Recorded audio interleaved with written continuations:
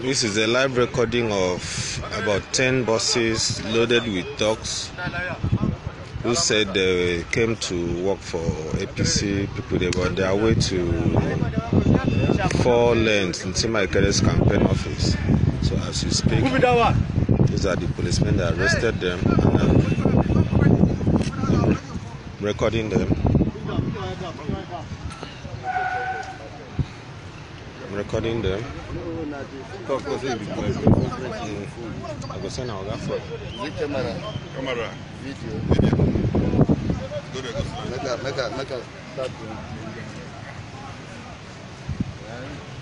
So this is a live recording. You can see the buses. You can see all of them. Each of them have brought out of their buses and they are lying down on the floor.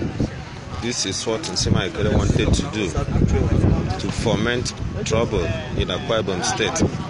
They said they were brought in by, they were sent in by uh, Adams Shumole from Edo State. They said so far four, four buses have already arrived in New York.